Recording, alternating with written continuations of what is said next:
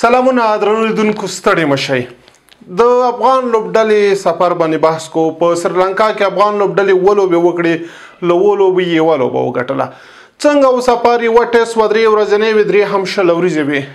دوه دانې لوبډل مشران و حشمت شیدي او ابراهیم زدران په روستي کوم سیریز چې د شلوریزو لوبو کې د سره د لوبډلې سره مشر روزونکي هم نه وو ځوانانو ته هم چانس ورکړل شو بلابل لوبغاړي وازمال شول په دې ټولو باسکو خبرونه کرا سره سمسور صاحب او مراد صاحب دی باسکو خو مخکې یادوم چې د دې خبرونې مالی ملاتړ کوونکي دي و ما ګروپ اف کمپنیز او عبد الغفور د درملوم د پلورنځي مراد صاحب زو بلابل اړخونه غږو خو په لومړي سر کې باس په دې راته وکړي چې رښتیا هم افغان لوبغاړي دومره کمزوري وو چې په درې واړو فارمټونو کې دغه شانته لوبې وکړي، ضعیفه لوبې وي، کوم ډول چې توقع وه هغه شانته ونه لوبیده. نصرت صاحب سلامونه تاسو ته، سمسور صاحب ته او زموږ ټولو قدرمنو لیدونکو ته. افغان لوبډله ماشاءالله ډیره پیاوړې لوبډله ده، ډیر ښه لوبغاړي له ځان سره لرو، خو دغسې نتیجې چې کله راځي د دې بېلابېل علتونه دي چې په افغان لوبډله کې موږ زیات وخت ګورو زه به هغه علتونه وایم بیا به پرې وروسته جزیاتو کې هم موږ او تاسو وغږېږو د ټولو نه غټه ستونزه چې په افغان لوبډله کې لیدل کېږي زما په نظر هغه هغه زموږ د مین لوبغاړو کمیټمنټ چې ورته وایي یا د لوبډلې لپاره چې دی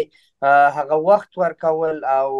پاتې کېدل او هلته چې د خپل لوبډلې سره د خپل لوبغاړو سره چې دی یو ځای په یو ماحول کې پاتې کېدل که موږ تاسو وګورو خصوصا زموږ د پنځوس اوریزه لوبډلې او شل اوریزه لوبډلې زیاتره هغه لوبغاړي چې مین لوبغاړي دي کلیدي لوبغاړي دي که هغه الراونډران دي بیټینګ ډپارټمنټ کې دي د بالینګ دوی یو لیګ نه لاړ شي بل لیګ ته بل لیګ نه لاړ شي بل لیګ ته دغه اوس هم موږ تاسو کتلی شو چې سیریز څنګه ختم شولو په درې واړو فارمټونو کې مو خراب پرفارمنس کړی او ښه نه ځلیدلي ځینې لوبغاړي په بخښنې سره زه دغه لفظ استعمالوم لکه کرایي لوبغاړي چې په دې لوبډله کې په کرا باندې نیول شوي او چیرته دعوت شوي او میلمانه راغلي سم د واره نه بیرته کیناسته په خپلو غلطیانو باندې مشورې او خبرې وکړي نه د اصلاحاتو لپاره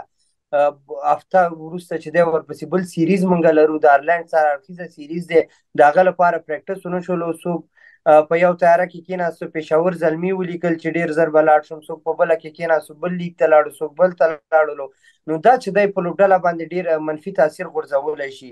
زمونږ کپتانان که مونږ هم وګورو بغیر د حشمت نه چې هغه لیګونه نه کوي نور کپتانان مو چې څنګه د ملي لوبډلې لوبې خلاصې شي یو لیګ کې چې دی قرارداد لري ناوال ته سم د واره ځانونه ورسي نو دغه وخت چې اوس مونږ یو هفته پاتې سید آیرلند به چې دی ډیره پیاوړي لوبډله نه خو هغه یو فول ممبر هیواد دی او ځان ثابت کړی په انټرنیشنل لیول باندې د دې لپاره چې تر څو موږ په ځان کې بهتروالی راول ورلډ کپ لپاره مو ښه پلانونه نیولی وی سره په خپلو کې ناست وی هغه کار ونه شو هر سړی بیا په خپله مخه باندې لاړلو دا یوه ګټه اساسي ستونزه او همدغه وجه چې زموږ کلیدي لوبغاړي نه غواړي چې ټیسټ کرکټ وکړي نه غواړي چې دوی راشي کورني کرکټ کې فرست کلاس کې ولوبېږي دوی په لیسټای کې ولوبېږي ځکه دوی ته پیسې ګټل او دا مهم دي که څه وخت مخکې موږ وګورو کرکټ بورډ په نوین فضل حق او مجیب باندې بندیز غوره کړی و ډیر مینوال خفه و چې دلته کرکټ بورډ ملامت دی او لوبغاړي ملامت نه دي نو اوس هم په کرکټ بورډ ملامت دی کرکټ بورډ وته وي تاسو لاړ شئ پېښور زلمي سره لوبه وکړئ کرکټ بورډ وته وي اوس دا منم چې دا یو اداره ده دا یو منیجمنټ دی دوی باید کوشش وکړي په دوی بندیزونه ولګي خو که بندیز پې لګي بیا هماغه حال دی بیا ټول مینوال راجګیږي بیا لوبغاړي ګیلې شروع کوي څوک په انسټاګرام کې لیکي څوک په فیسبوک کې څوک په بل ځای کې دي سر د کرکټ بورډ د ادارې بدنامي هم کیږي خو کرکټ بورډ ادارې ته هم په کار ده چې دوی باندې ځینې بندیزونه غوره کړي او اولیت باید افغان لوبډلې ته ورکړل شي بل خو کرکټ بورډ سلیکشن د کمیټې چې هغه ستونزه ده چې هر یو سلیکشن کمیټې مسول یا مشر راشي په خپل خوخه باندې لوبغاړي ځینې لاسوهنې به بیرته مسولیت هم ناخلي هغه د لوبډلې کمبینیشن نه جوړول دا هم چې د زموږ د ماتو لامل دی په صحیح ډول باندې یا موږ سره بالران ډیر زیات شي یا لمډران زیات شي جنون بیټسمنان ته چانس نه ورکو هغه ځوان لوبغاړي چې وړتیا لري هغوی ته په مهمه میچونو کې چانس نه ورکو چې کله مو سیریز د لاسه ووځي یوه لوبه ورکو او را روان ټور یا بل سیریز د هغوی بیا کوم تضمین یا ګارنټي نشته دی چې موږ ولې دغه لوبغاړي به بیا په آینده کې موږ لوبه وکړو نه لوبه موږ ډېری لوبغاړي لیدلي حتی بدون د لوبېدو څخه هغوی د لوبډلې کېنول شوي دي او ډراپ شوي د لوبغاړو په پرفورمنس کې انکنسسټنسي به زه ووایم نصرت صاحب چې لوبغاړي په مسلسل شکل باندې چې دی ښه نه ځلیږي ښه پرفورمنس نه کوي په پنځه میچو کې شپږ میچو کې زمونږ کلیدي لوبغاړي که بیټسمینان دي که بالران دي په یو میچ کې تا ته ښه بالینګ وکړي په یو میچ کې تا ته ښه بیټینګ وکړي هغه مسلسل کارکردګي چې دی زمونږ ښه نه ده او په انټرنیشنل لیول باندې که غواړي چې یوه لوبډله کامیابه راشي او ښه وځلیږي نو باید د هغه لوبغاړي په مسلسل شکل باندې ښه پرفارمنس وکړي بعضې اوقات چې دی موږ په ټاپ آرډر ډېر پرېشر اچو چې هغوی رنزونه وکړي میډل آرډر مو نه کوي چې کله ټاپ آرډر فیل شي بیا میډل آرډر ورسره هم فیل شي اندازې فینشران په لوبډله کې نه لرو کنسسټنټ پرفارم نه لرو په بالینګ ډپارټمنټ کې هم چې دی موږ تاسو ګورو که اول بالینګ موږ تر سره کوو بیا هم زموږ بالران ډېر زیات رنزونه کنسیډ کوي که چیرې موږ رنزونه ډیفینډ کوو داسې بالران موږ په لوبډله کې چې دی اوس نه لیدل کېږي او دغه ټول اساسي مشکل چې زه دلته ګورم هغه د سلیکشن دی هغه چې دی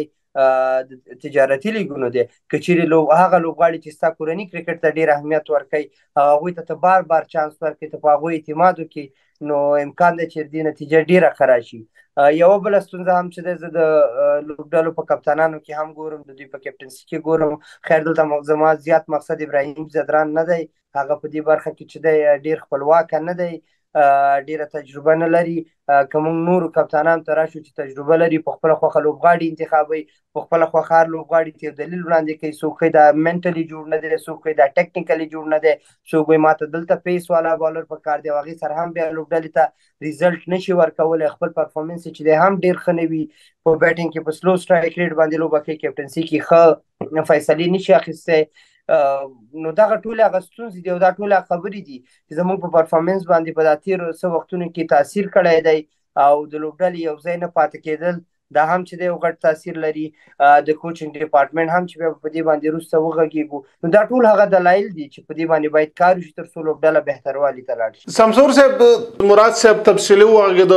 چې کوم ملتونو چې افغان لوبغاړو خېلو به ونکړلې کله شانته په دې باندې هم وغږیږو چې من ډیر وخت موږ تاسو ټول په دې باس کوو چې د افغان لوبډلې سره چې کوم لوبغاړي په بنچ ناشتي هغه ته موقع نه ورکول کیږي کوم ته چې موقع ورکړل شو صحیح استفاده ترې وشو په دغه درې سیریزونو کې افغان لوبډلې داسې کوم څه تر لاسه کړو چې راتلونکو کې ورته توجه کول پکار دی راتلونکو کې د لوبډلې په درد دوا کیږي سلام نصر صاحب ته ته مراد صاحب ته او د کرکټ ټولو لیدونکو ته یو نیم اننګ وشو د یو نیم لوبغاړي له طرفه که په ټوله کې وګورو موږ په دغه ټول سفر کې داسې خاص هغه په اصطلاح آوټسټینډینګ بالینګ نه درلودو یوازې یو لوبه کې ماټیسټ کې چې نوید زدران څلور وکټې واخیستې نور که تاسو وګورئ داسې ډېر ښه بالنګ ونه شو هغه د فسټ بالرانو له لوري و هغه که د سپین بالرانو له لوري و که د الراونډرانو له لوري و هیچا داسې خاص یعنی داسې یو کارکردګي ونه کړه چې سړی وویلی شي چې دا نن شپه بهترین یوه نیمه وکټ به یې واخیسته وروسته چې به راغلو ډېرې زیاتې منډې به یې ورکولې نو دا یو مشکل و چې همدغسې په بیټنګ کې موږ تاسو ولیدل چې یو نیم اننګ وشو یو ځل محمد نبی سلیزه وکړه د غراز عظمت سلیزه وکړه ابراهیم په ټیسټ کې خلوبه وکړی و یو اننګ خو وکړ نور نو که دغه سیریز منګ او تاسو وګورو لکه عموم کې دغه البته سفر مې هدف دی مراد صاحب مخکې په دې باندې وغږېدو چې منګه داسې داسې لوبغاړي پکې ونه لیدل چې هغوی دوامدار شکل باندې ښه ښه یا بیټینګ وکړي یا ښه بالینګ وکړي یعنې یوه لوبه به یو وکړه بله لوبه به بل وکړه داسې او دغه کرکټ چې د ټیمي لوبې دي دا ګروپي لوبې دي دا په یو لوبغاړي باندې نه ګټل کیږي یا په دوه لوبغاړو باندې نه ګټل کیږي یو بلک خه کوي یو بلک متوسطه کوي یو بلک څه سپورټ ور کوي دغه یو څه وي کته واز یو لوبغاړي ته کینې هغه ته ته دا لوب نه شي ګټلې نو دغه یو یو مسله او بل مسله ده چې موږ تاسو خو په ټیسټ کې نوی ځدران ولیدو نو د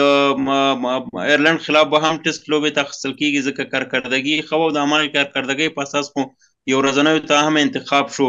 نو په ورځنیو کې خاص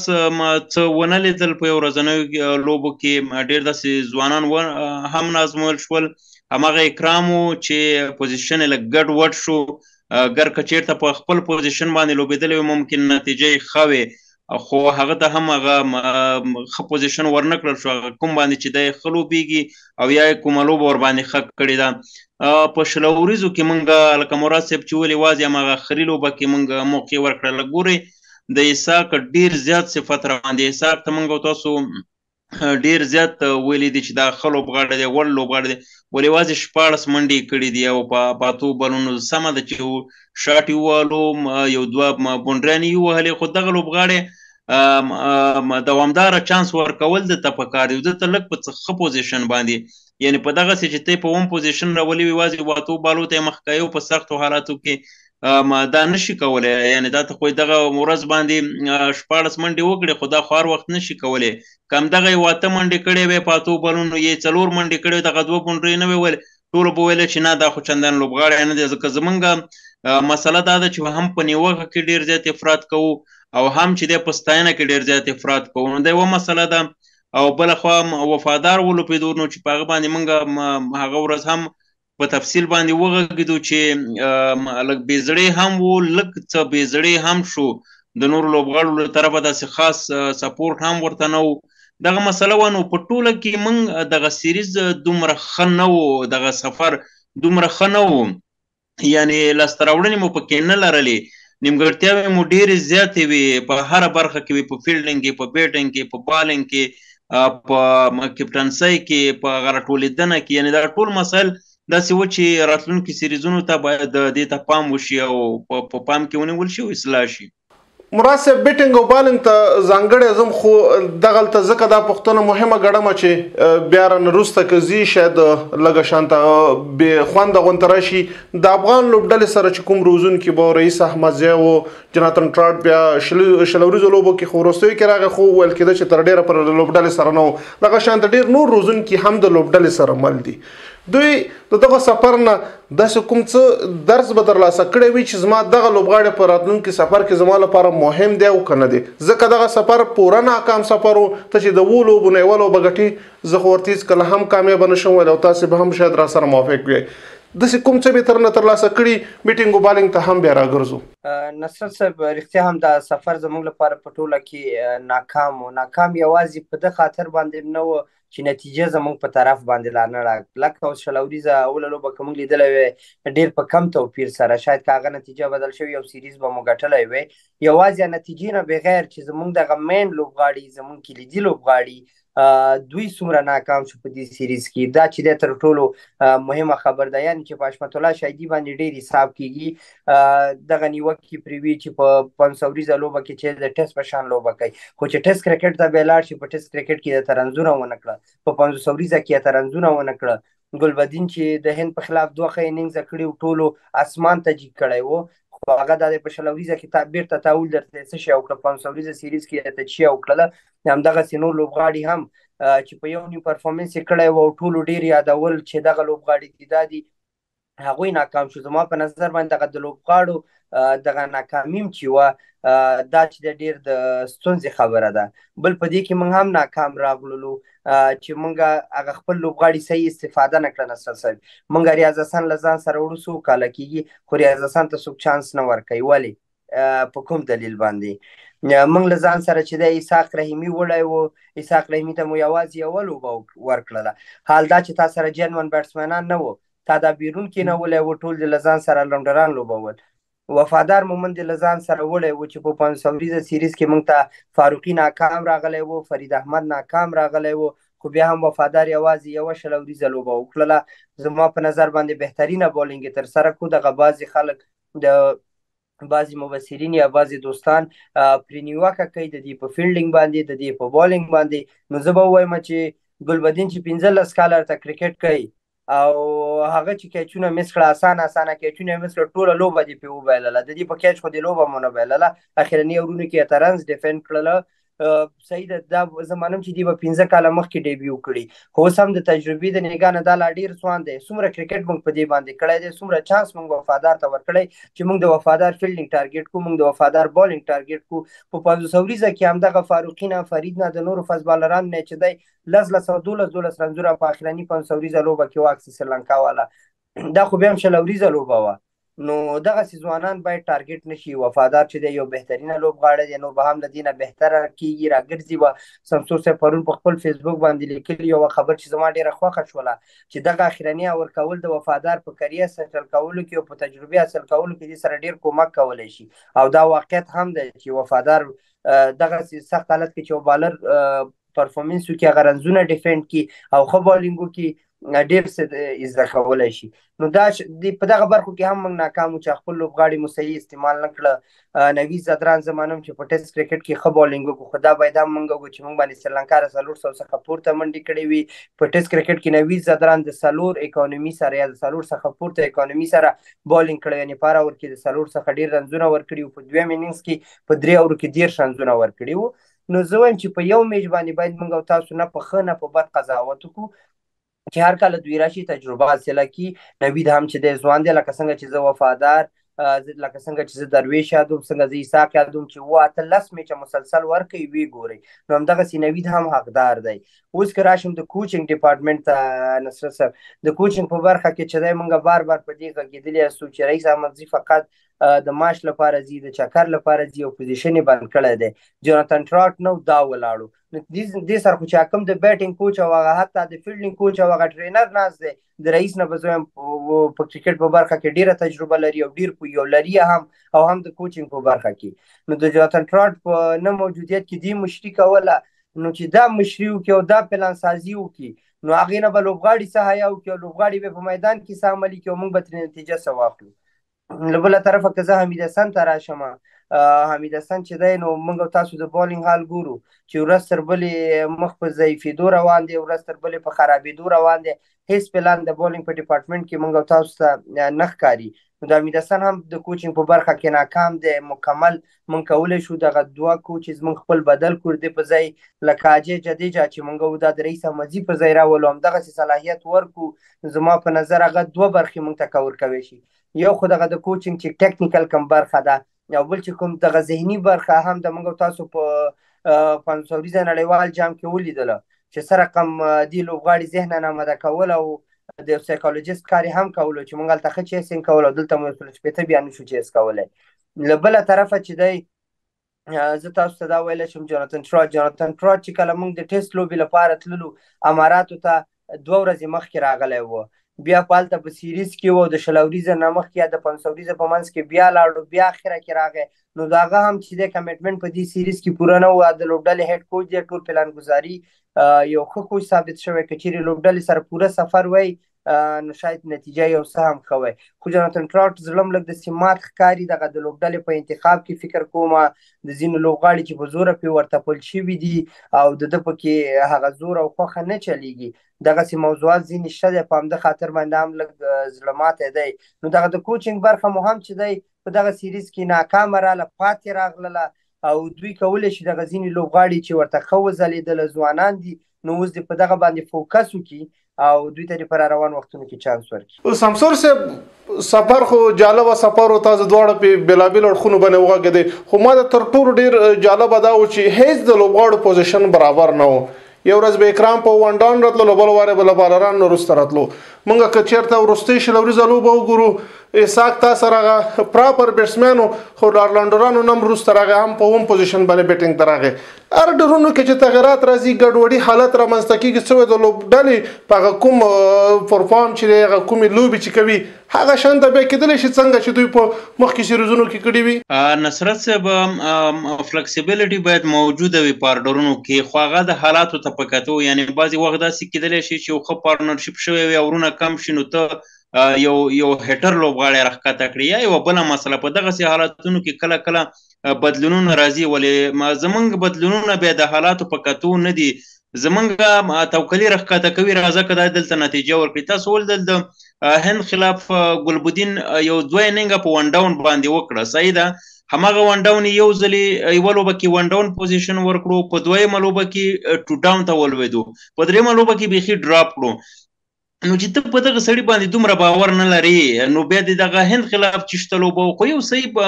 ون ډاون پوزیشن ته یو صحیح لوبغاړی پیدا کړي چې هماغه په هماغه ځای باندې ولوبېږي هلته چې د هند خلاف دوه ښې لوبې وکړي موږ تاسو ټول وویل چې اوس یو لس لوبې باید مسلسل ګلبدین ته په دغه ځای باندې ورکړل شي که رښتیا هم غواړی چې دغه ګلبدین دې له تاسو سره وي همدغسې اسحاق ته یاد کړو چې په کوم پوزیشن کې وخت ورکړو اکرام موږ او تاسو ولیدل چې کله به داسې وخت راغی چې هغه ریکوایرډ رن ریټ ورباندې شلو ته رسېدلی او هغه یې راښکته کړو په داسې حال کې چې موږ داسې یو حالت لرلو چې په پنځوسو کم پنځه ویکټې لاړ وي ولې دته موقع ورنه کړله نو ارډرونه د حالاتو مطابق نه چینجېږي دوی صرف داسې کوي چې راځه که دغه دلته ښه نتیجه ورکړي یو ازمایښتي ډول باندې دوی مخې ته ځي او هغه نو یا نتیجه ورکوي یا یې نه ورکوي اکثره وخت یې نتیجه نه ورکوي یوه بله خبره زه کول غواړم چې دغه د بالرانو چې څنګه ښه نه و یا ولې تجارتي لیګونو ته ځي د تجارتي لیګونو مسله ډېره ډېره غټه شوې ده حتی هندي بورډ خپل لوبغاړو ته اختار ورکړی دی چې آی پی ایل به له نورو ډومېسټیکو څخه څخه جګ نه ګڼئ که تاسو ټوله توجه آی پی ایل ته کوئ له سختو پرېکړو سره به مخ شئ پاکستانیان حارث روف باندې بندیز لګوي یا نورو لوبغاړو ته خبرداری ورکوي ډومېسټیک کول دا ډیر زیات مهم دي ولې زمونږ لوبغاړي مخکې مراد صاحب یاد کړه چې بس په تیارو کې ناسي او رواني نورو لیګونو ته خاصتا نوین سپیشلیست د ډیت با د بالنګ هغه دغه د پېښور زلمی ته ورسو نو په هر صورت باندې دغه مسایل شته په دې هیله باندې چې د ایرلند سیریز کې دغه مسلې حل شي مراد صاحب سمسور صاحب ډیر خټه کې ته اشاره وکړه چې موږ د ډیت اورونو بهلر پیښور زلمی ته لاړو رښتیا هم د ډیت اورونو بالر هغه شان د تو پچونه وکړه په ټوله کې د افغان لوبډلې توپ اچونه څنګه وه تر یو مهم بحث چې دی هغه ته باید تاسو ډیر فوکس په وکړي چې تخنیکی په وغږیږي چې ولې زمونږ فیلډینګ بار بار ناکامیږي د فیلډینګ لامل ولې موږ مسلسل لوبي بیلو ولې دغه مهمه برخه ته هیڅ توجه نه کیږي او تر څنګ بیټینګ هم کلګ راته یاد کړي نسا سر فیلډینګ د یو چا دی چې دا د لوبغاړو هغه خپل خواري او مهنت پورې اړه لري چې دا یو لوبغاړی څومره شوق لري د دې برخې سره څومره غواړي چې په دې برخه کې ځان امپروف کړي دا لوبغاړی باید خپله دغه کوښښ او زیار وباسي دا یوه مسله بله مسله چې دی دلته د بله مسله دلته د فټنس ده چې د لوبغاړي یو فټنس څومره جوړ دی هغه څومره کولی شي په تیزۍ سره تا ته په دایره کې فیلډینګ وکي سنگل تا ته بچ کی په باونډري کې تا ته سره رقم فیلډینګ وکي یعنی فټنس پورې هم اړ لري کې لو غاړه چیرته فټ هغه به خره فلیکسز ولري خه ډایو واچول شي بال به خسیف کول شي په فیلډینګ کې چې دا بل برخه د کوچ هم دا چې یو کوچ په کم ټیکنیک باندې دوی سره کار کوي کوم کیچز چې دوی ته ورکړي د سلیپ کیچینګ لپاره په کوم ټیکنیک باندې دوی سره کار کوي نن سبا موږ په شلوریزه کرکټ کې ګورو په بونډرۍ کې یعنی حتی شپږیزې اوس کیچ کیږي چې هغوی سره په هغه باندې په کوم ټیکنیک کار کوي بعضې لوبغاړي د دایرې کې د فیلډینګ کولو سپیشلیسټ دي بعضې چې دی د دایرې څخه بیرون په بونډرۍ کې نو هر په هر یو ټیم کې دغسې لوبغاړي پیژندل د هغوی سره کار کول دا تر ټولو مهمه برخه ده خو چې تر څو لوبغاړي خپل زیار خپل کوښښ په فیلډینګ کې ونه کړي وخت ورته ورنه کړي توجه ورته ونه کړي نو فیلډینګ نشي بهتر کېدلی دا ډیره مهمه برخه ده په نن سبا کرکټ کې ډیر میچونه پې ګټل کېږي او بایلل کېږي که زه راشم سمسور صاحب ویلې د نوین په اړه باندې ډیت اورونو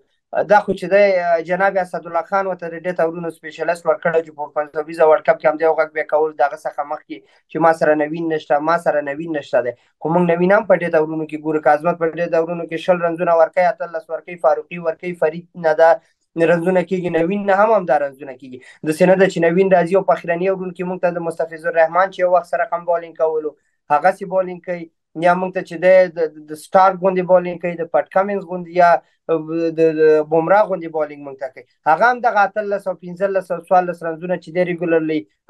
نوین هم ورکوي نو نه وینم چې دی په دغه برخه کې ځان داسې نه دی ثابت کړی یا په اخرني رون کې ډېرې زیاتې ویکټې موږ ته اخیستي یا ډېر په ښه اکانومي باندې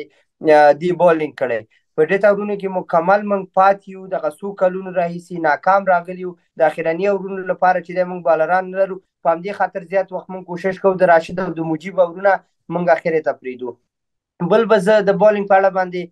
لنډه کې وایم زمونږ دوه نوي ځوان سپینران څنګه چې توقع وتی په اسیایي کنډیشنز کې په سریلانکا کې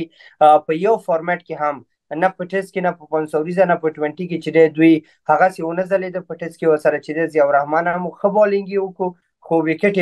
وترا نغلی قسمت سره یاری نه کوله کنه نور قیس او نور احمد پاغلی ولو نه زلې د زیات وخت خپل نه لاس اوره پوره کړ نه خپل سلور اوره په شلوریزه کې پوره کړ رنزونه ډیر زیات ورکړه دغه برخه کې دغه ځوانان باید ځان سره ډیر کار وکړي که په بیټینګ کې وګورم په بیټینګ کې مو ډیر ستونزې لرلې یو ستونزه مو چې ده د بیټینګ د کولاپس و یعنی چې یو زمونږ یو نیم سل پارټنرشپ به شوی او بیا به مو په لس پنځلس رنځو ټولې ویکټې د منځه لاړلې یا به مو په اولني څلوېښت رنځو کې څلور او پنځه لوبغاړي چې دی آوټ شول پارټنرشیپونه د لوبغاړو ترمنځ ونه شو د اوپنرانو ترمنځ د میډل آرډر ترمنځ ښه پارټنرشیپونه تر سر نه شو په ټول لوبه کې به یو پارټنرشیپ و د هغه څخه به مخکې بیټسمنان زر آوټ شي او د هغې پارټنرشیپ په ختمېدو سره به هم چې دی زموږ بیټسمنان ډېر زر آوټ شول او سمسور صاحب چې د ډیر ښه نقطې ته اشاره وکړه چې دغه د بیټینګ اورډر دا هم یو غټه ستونزه وه ګلبدین په یو میچ کې ون ډاون په بل کې ټو ډاون په بل کې شپږم هم دغه د عظمت پوزیشن معلوم نه و د اکرام او د اساق پوزیشن چې دی معلوم نه و نو اورال دغه ټول ستونزې چې دی وجود لري او سټرایک روټیشن اوس هم په بیټینګ کې مونږ ګورو چې ستونزه شته دی د ډاټ بالونو ستونزه اوس هم شته دی د حالاتو مطابق لوبه نه کول دا هم یوه غټه ستونزه ده نو خدای دې وکړي چې پر روان وختونو کې دغه اصلاح کړي او رئیس احمدزی خصوصا دغه ډپارټمنټ څخه کینول شي او همدغسې چې د حمید حسن پر ځای هم موږ یو بل ښه د بالینګ کوچ راولو مراد صاحب او سمسور صاحب ډېره زیاته مننه کور مو ودان نصر صاحب درنو لیدونکو د سریلانکا په سفر باندې مو بحث لرو سمسور صاحب او مراد صاحب مې وغږوو چې څنګه سفر وو ټول اړخونه باندې بحث وشو په بالینګ بیټینګ فیلډینګ ځوانانو کوچینګ کپتانانو په ټولو اړخونو باندې مو خبرې وکړې، افغان لوبډله به په متحده عربي اماراتو کې د ایرلنډ کوربتوب کوي، هلته هم درې سیریزونه دي، ټېسټ دی، یو ورځنۍ او شل اوریزې لوبې دي، نو په هغې به هم زموږ بېلابېلې خپرونې وي، له تاسې اجازه اخلو، خو یادوم چې د دې خپرونې مالي ملاتړ کوونکي دي، واما ګروپ اف کمپنیز او عبدالغفور د درملو عمده پلورنځی.